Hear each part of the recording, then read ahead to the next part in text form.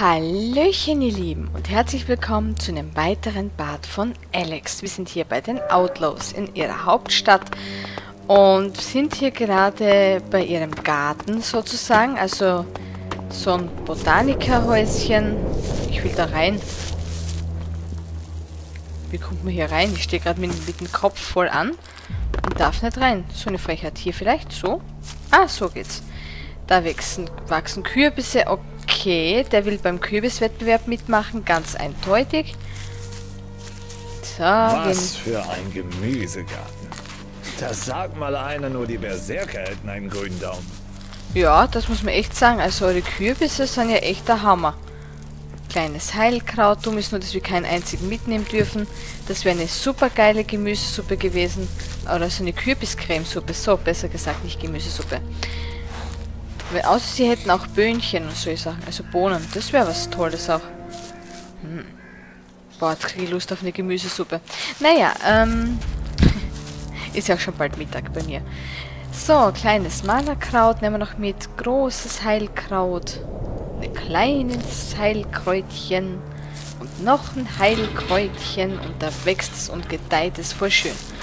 Na, richtig schön. Muss man echt sagen. Jetzt weiß ich auch, warum sie die Hundis haben. Ihren Kackhaufen verwenden sie nämlich gleich zum Düngen, nicht wahr? Oh. Ähm, den Aufenthaltsort von Leo. Er buddelt. Findet jetzt was an? Schaut nicht an. Aus. Oh, süß, er buddelt. Oder sie. Keine Ahnung. Äh, jedenfalls, ähm, was wollte ich? Mich weiter umschauen, richtig. Flatter umschauen, habe ich vergessen, dass ich mich umschauen will. Na, braves Hundi. Eine Wasserflasche nehmen wir mit. Da haben wir auch was. Elixit. Nehmen wir auch mit. Und das Geldbündel nehmen wir auch mit. Voll super. Da geht eh nichts zum Aufmachen. Warte, war da was? Setzerbrot. Das gibt's hier auch. In der Wüste. Okay. Ja, gut. Gebratenes Fleisch. Das nehmen wir gern mit. Das ist ein kleiner Ofen. Mei, süß. Rohes Fleisch. Noch mehr rohes Fleisch. Da kann man die voll ausrauben, eh. Voll lustig. Na gut. Boah, das ist viel zu groß. Ich wollte eigentlich schauen, ob wir noch einen Teleporter finden. Ähm, der dürfte wahrscheinlich, wenn, dann dort sein, wo der Chef wohnt, also der Duke. Würde ich sagen, schauen wir doch uns mal ein bisschen da oben um. Vielleicht finden wir noch den zweiten Teleporter.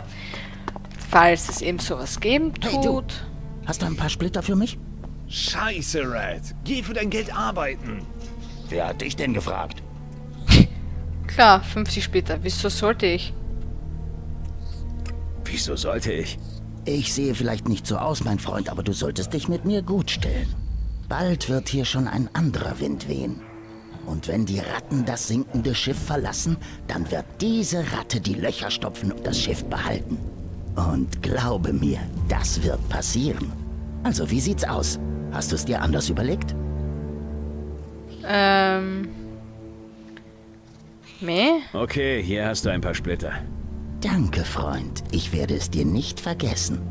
Nur wer die richtigen Freunde hat, kann es weit bringen. Vergiss das nie. Entzückend. Nee. Na gut. Ähm, keine Ahnung. Das ist vielleicht so ein Sympathisant von diesem einen Kerl. Sei lieber still der den Duke stürzen möchte. Ihr habe ich noch nie vertraut. Ich auch nicht. Was haben wir hier? Eine Brause. Ahoi, Brause. Lala. Ja, ja. Ähm. So, ich sollte mal ein bisschen sprinten, ne? Ich habe keine Ahnung, wo ich hier bin. Das könnte das Haus vom Duke sein, ha? Eine Wache steht davor. Ja, so stelle ich mir das vor. Ja, muss sich nicht wundern, wenn sie platzt. Äh, ja. Sehr gut, so muss das ausschauen. Hallo? Hier, das ist der Wer Duke. zum Geier hat dich denn hier reingelassen? Ich hoffe für dich, dass du eine gute Erklärung hast, mich bei meinen Geschäften zu stören. Ähm, du bist zweifelsohne der Boss hier. Ich brauche nur einen Augenblick deiner Zeit. Welche wichtigen Geschäfte kann ein Verbrecherboss schon machen? Puh, eindeutig, Chef. Du bist zweifelsohne der Boss hier. Ha, ist ja schön, dass sich das schon rumgesprochen hat. Dann erzähl mal, warum ich dich nicht gleich häuten lasse. Du brauchst meine Hilfe. Du willst keinen Ärger mit mir, glaub mir. Ich schätze, wenn du jetzt Schwäche zeigst, wenn ich jetzt Schwäche zeige, finde ich meine Leiche in einem Sack auf dem Schrottplatz wieder. Ich schätze, wenn ich jetzt Schwäche zeige, finde ich meine Leiche in einem Sack auf dem Schrottplatz wieder. Tch, was ist das denn jetzt? Hast du überhaupt eine Ahnung, mit wem du es hier zu tun hast? Du bist der Duke. Du bist die Nummer eins. Du machst mir Spaß. Hast Glück, dass ich gerade gute Laune habe. Also, raus mit der Sprache. Was willst du von mir? Schwierige Aufgabe, eine Stadt wie diese zusammenzuhalten, schätze ich. Gib mir einen Job. Die klauen unsere Jobs. Na, das obere würde ich sagen. Schwierige Aufgabe, eine Stadt wie diese zusammenzuhalten, schätze ich. Tja, nach außen wirken wir vielleicht wie ein Haufen von Abtrünnigen und Halsabschneidern. Ohne Disziplin, ohne Ehre und Gesetze. Werte, die die anderen Fraktionen da draußen auf ihrer verzweifelten Suche nach Stärke und Erfolg so hoch halten. Aber ich verrate dir was, weil du es nicht zu wissen scheinst. Wahre Stärke liegt in dem Bestreben nach Unabhängigkeit und dem Erhalt deines freien Willens, mein Junge. Die meisten hier haben nichts zu verlieren. Sie scheißen auf Gesetze und Ehre. Im nackten Kampf ums Überleben ist sich jeder selbst der Nächste. Ein einfaches Prinzip, was auch jeder einfache Geist versteht. Ich, der Duke von Tavar, bin der Einzige, der ihnen wahre Freiheit und Unabhängigkeit garantieren kann. Darum und nur darum werden wir am Ende auch die Letzten sein, die noch stehen, wenn alle anderen schon längst gescheitert sind. Naja, also wenn es zusammenarbeiten würdet, ne, zumindest mit den Perserkern, also, ne? naja, äh, wie steht es um Verhandlungen mit den anderen Fraktionen? Wie steht es um Verhandlungen mit den anderen Fraktionen? Verhandlungen. Du machst wohl Witze. Mit wem denn? Den naturvernarrten Quacksalbern und Träumern aus Edan? Zum Beispiel. Es heißt, ihr Anführer Thorald sei abgehauen und vergnügt sich jetzt auf irgendeinem Berg da unten in ihrem Waldland. Sie haben ihm den niedlichen Beinamen Pilger gegeben, damit sein Ego-Trip einen guten Namen hat. Tch, das nenne ich mal gute Menschenführung. Tja, und über die völlig durchgeknallten Alps brauchen wir uns ja wohl nicht unterhalten. Und die Kleriker? Pah, diese fanatischen hohen Herren verkriechen sich hinter ihrem falschen Gott. Ich sage, nutze ihre technischen Fähigkeiten, aber gib ihnen keine Macht. Aber, wie gesagt, wir halten uns an unsere Freiheit und lassen uns unseren Geist nicht von diesen Verrückten vergiften. So, und jetzt endet deine elende Fragerei über Dinge, die du sowieso nicht verstehst. Verstanden? Jawohl, Chef. Gib mir einen Job. Gib mir einen Job. Hm, hier ist es wirklich ernst damit, oder? Na gut, bevor wir hier noch weiter dumm rumlabern, ich hab da was für einen wie dich. Im Raketensilo findest du Konrad. Er ist der beste Wissenschaftler, den ich kenne. Er bastelt da unten an einem wichtigen Projekt für mich. Er soll eine Bombe bauen. Eine wirklich große Bombe. Leider dauert das Ganze schon viel zu lange und ich werde langsam ungeduldig. Ich will, dass du runtergehst und diesem Dämlack von Wissenschaftler Beine machst. Wenn er nicht bald fertig wird mit dem Ding da unten, dann seid ihr beide dran. Ich Alter. hoffe, das war deutlich. Jawohl, Angry. Der ist vielleicht salty. Na bitte. Du glaubst, ich bin der geeignete, äh, ich bin geeignet für diesen Job? Ich übernehme den Auftrag. Ähm, eine Frage hätte ich da noch. Alter, dann platzt er, glaube ich. Ich übernehme den Auftrag. Ja, aber lass dir nicht zu viel Zeit dabei. Deine Uhr läuft. Jawohl, Chef. Was müsste ich tun, um ein vollwertiger Outlaw zu werden? Was müsste ich tun, um ein vollwertiger Outlaw zu werden? Was müsstest du? Hab ich dir nicht gerade gesagt, was du tun sollst? Wenn du mich beeindrucken willst, dann beweg deinen Arsch und erledige den verdammten Job. ah, nicht schlecht. Die Mädels schauen auch nicht schlecht aus, ha? Links und rechts, aber der, so ein Sitzkissen wäre doch kein Motto gewesen für die, oder? Alter, die müssen so Füße weh haben. Die können sicher nicht mehr aufstehen, die Armen. Die armen Mädels, echt. Wirklich arm, muss man echt sagen. Da oben ist wahrscheinlich sein Schlaf gemacht, denke ich mal.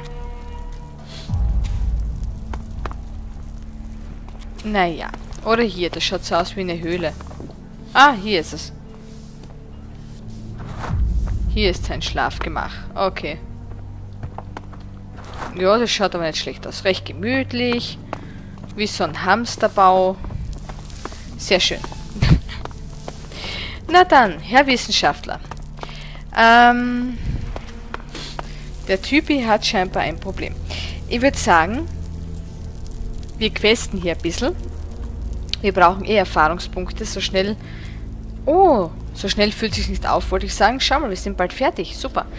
Ähm, ich würde sagen, das würde ich gerade anbieten hier. Ah, das war das mit den Hauptmännern, ne? Unter Geiern der Wüste. Wie schön.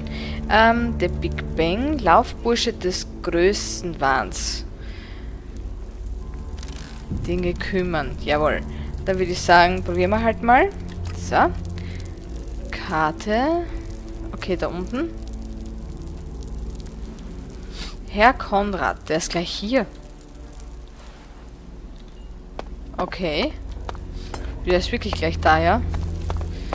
Herr Konrad. Servus. Ja, ja, ist schon gut, Hundi. Iron. Medicine. Hallo? Hey, bleib mal stehen. Gibt es ein Problem? Nein. Ich wollte nur wissen, wer sich neuerdings hier rumdrückt. Vertrauenserweckend siehst du nicht gerade aus. Aber mein Spielzeug Liam ist auch nicht gerade eine Augenweide. Spielzeug. Hast du jetzt, hast du dich jetzt satt gesehen oder was ist das hier? Dein Spielzeug? Hä? Hast du dich jetzt satt gesehen oder was wird das hier? Ich starre dich so lange an, wie ich es für richtig halte. Kommen wir aber zum Wesentlichen. Ich habe die Aufsicht und prügel den Gefangenen Respekt ein. Vergiss das nicht, wenn du vorhast, dich daneben zu benehmen. Jawohl, Sintragosa. Ähm, was?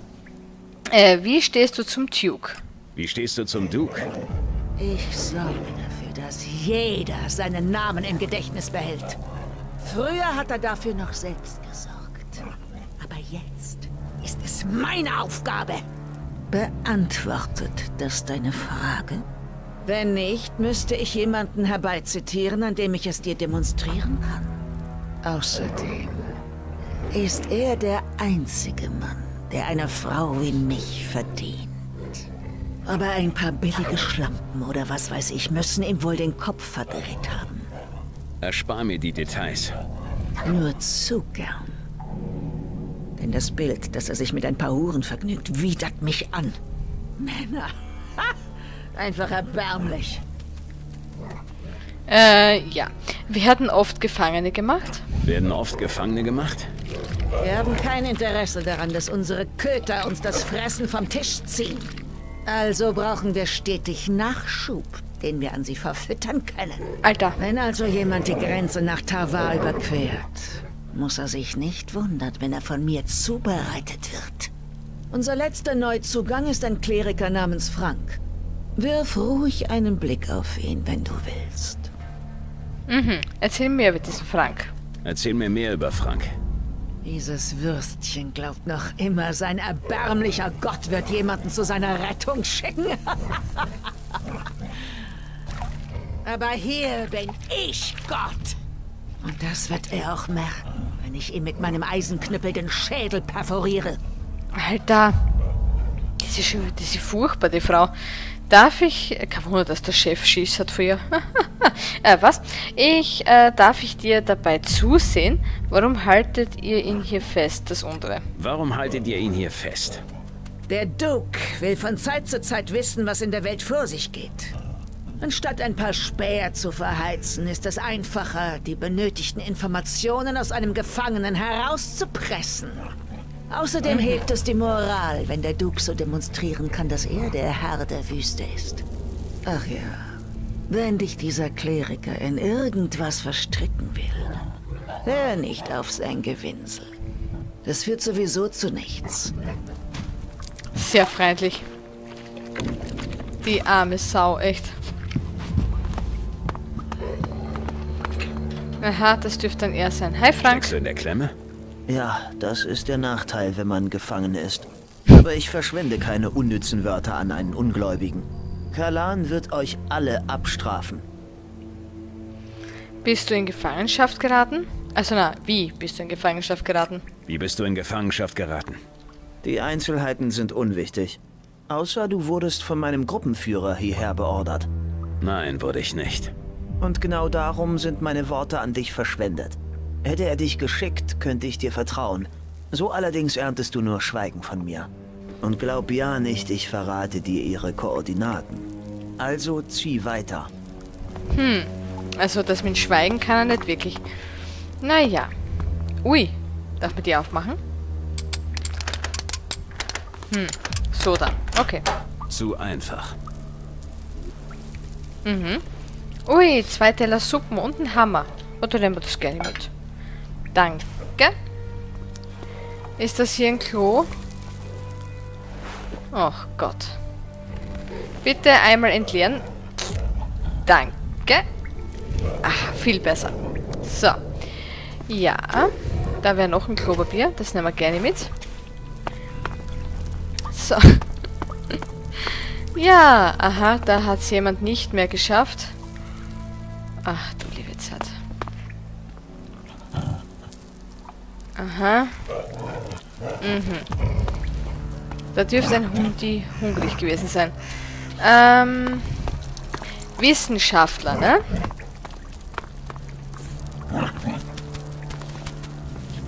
Ja, bist ja braves Hundi. Aber ganz ehrlich, irgendwie so ein Viechlein, ich meine, hübsch sind sie ja nicht, aber als Begleiter wäre schon cool auch.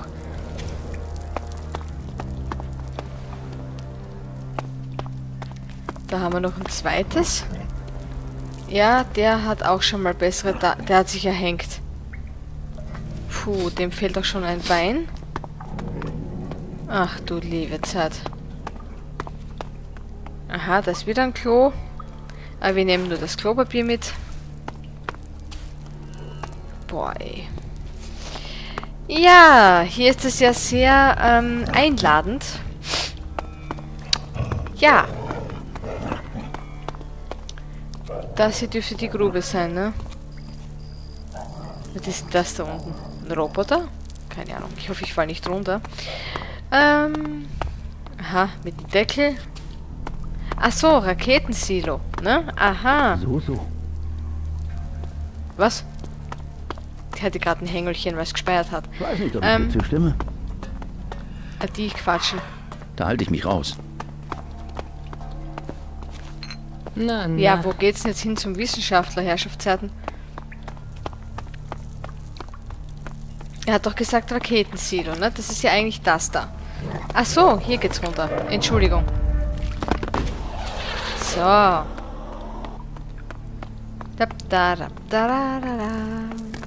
Der Part ist schon wieder zu Ende. Das kann ja nicht sein. Wir reden da mit zwei Leuten, das ist schon wieder aus. Elmar! Was willst du von mir? Ich kann euch Outlaws auf den Tod nicht ab.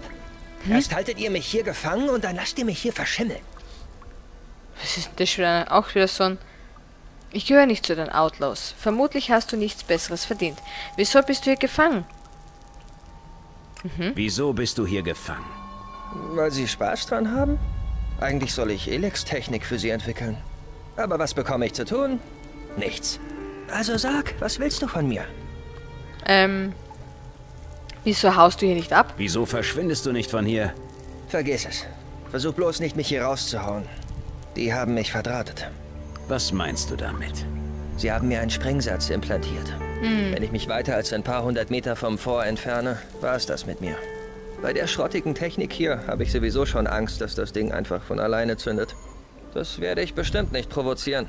Mhm. Meine einzige Hoffnung ist, dass die Outlaws mich irgendwann gehen lassen. Wenn das so ist. Wieso hat der weiße Fingernägel? Naja. Ah, die Bombe, ne? Na, die schaut aus. Ein Bömmchen. Ähm, und ich würde sagen, im nächsten Part schauen wir uns mal den Wissenschaftler an. Was haben wir hier? Ein Setzerbrot. Nehmen wir auch mit. Zumindest hoffe ich, dass ich den Wissenschaftler anfinde. Naja, wird schon werden. Ihr Lieben, ich bedanke mich wieder von ganzem Herzen fürs Zuhören, fürs Zuschauen. Wünsche euch einen schönen Tag, einen schönen Abend, je nachdem, weil ihr das Video schaut. Und wir hören uns beim nächsten Mal. Tschüssi.